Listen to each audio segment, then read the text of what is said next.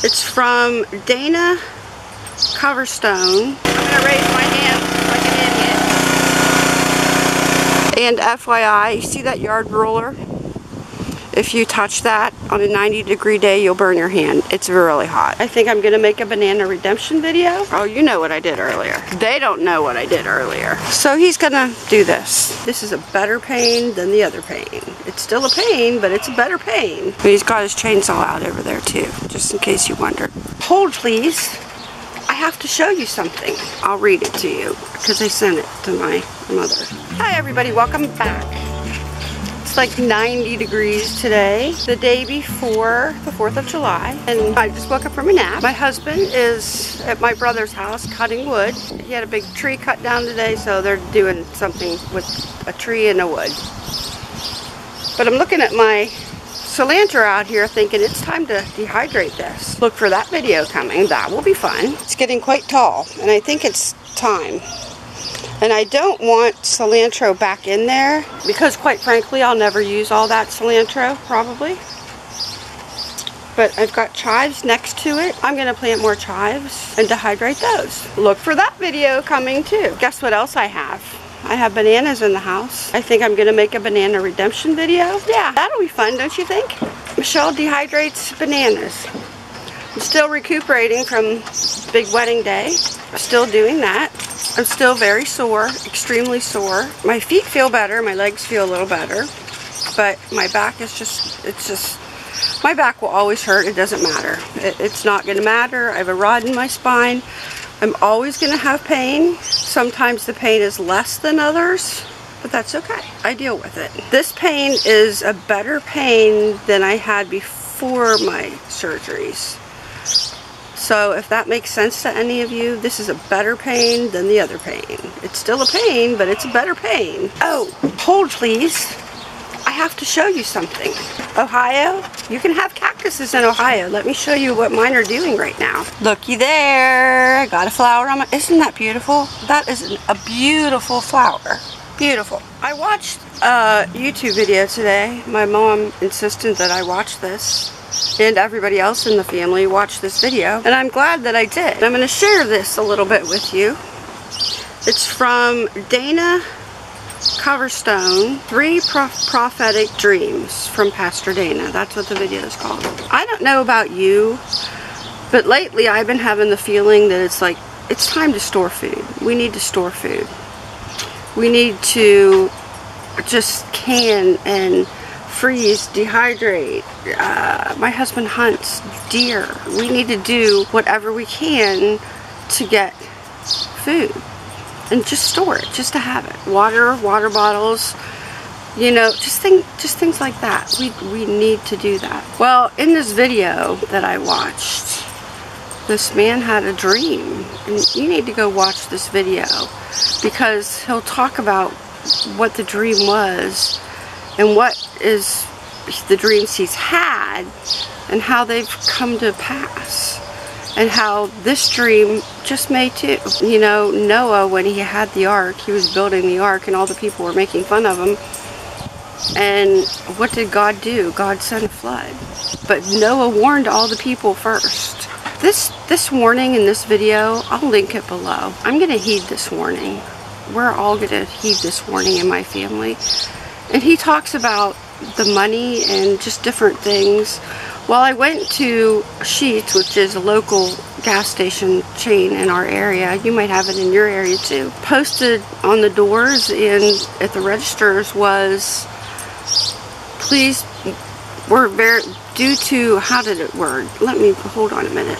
I'll read it to you because I sent it to my mother. Okay, it said, due to the national change shortage, please pay with your debit card. You know, things are happening. Things are going on in our world that we aren't all aware of now. And if somebody, a godly man, a pastor, gives us some sort of warning, I think we should take it. You know, you could laugh about it if you want. That's what he said in the video too. You know, you can laugh at me all you want, and if it doesn't come true, I'll look like the biggest fool on the internet. But if things come to pass, let me let me warn you.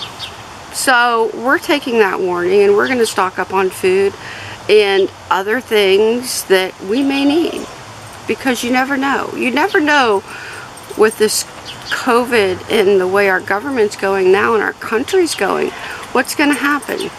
So if you're thinking about it, start storing up, start buying canned goods and just, just store them in your basement or find a cool place. Store them up for you and store some up for your family too because if they're not going to heed the warnings and it comes to pass, at least you'll have enough for them to, you could share. You will be able to share. And I know I've talked to enough people recently before I even heard this, they're like, have this feeling that I should just start canning and start dehydrating. And even my husband has said a few things without us even talking. And it's like, you know what? You're right. We need to do something. I agree with you. Then I heard this today and it's like, yeah, we better we better be doing something around here. Willie's back. Look what he brought us. Truck full of wood. And then he's got his other toy out over there. It's only 90 degrees. Oh, there's a breeze. Take that in. There's a breeze. Ready? Ready. do this. I can't help him, or I would. If I was having a better day, I'd help him, but no. Today's not that day. In fact, I probably won't even be able to sit on the four-wheeler with that thing running. It'll be shaking too much. He likes to do this. He's got his chainsaw out over there too, just in case you wondered. This was about one-sixth of the size of the log. Was it? See how big it is. It was, that was the base of the tree. Yeah. But as you can see, our wood pile's gotten low a little bit over there. And FYI, you see that yard roller? If you touch that on a 90 degree day, you'll burn your hand. It's really hot. It's really hot. Learn that. It's steel. Yeah, well it's hot. It's hot. Yeah. Hot steel. That's alright. You know what I did earlier? No. Oh, you know what I did earlier. They don't know what I did earlier. I put my contacts in and went and got my nails done and could sworn this contact wasn't in my eyeball. And I came home and I dug all in my eye, all everywhere, up, you know, just looking for the contact. Well, an hour later, I'm outside, I'm thinking, oh, I could see what is going on. The contact was in my eye. It was actually where it should be. Didn't check there, but it, that's where it was. So I found the missing contact in my eyeball. He was laughing at me because he's watching me dig all around my eye. Then I went, oh wait, let me check my eyeball. Excuse me? okay, let's get this thing fired up. Oh, yay. Then I think we're going to do chicken on the on the fire pit over there. That sounds like a good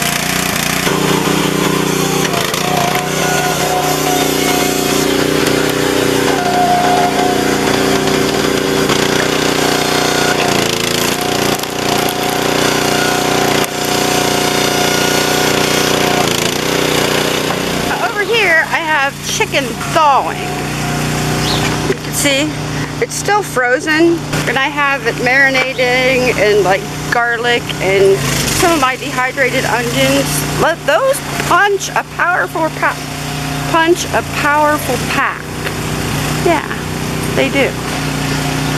So this is still frozen, so I'm not worried about it sitting out here in the sun. But we're planning on cooking it on that thing tonight, on this fire pit.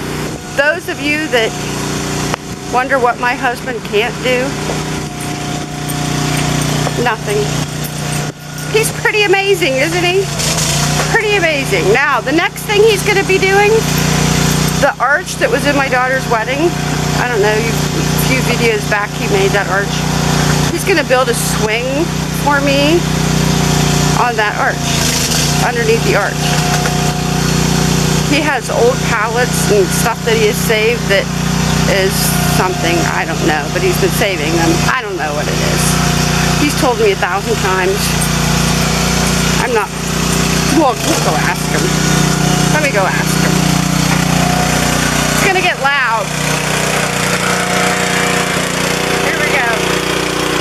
I'm gonna raise my hand like an idiot.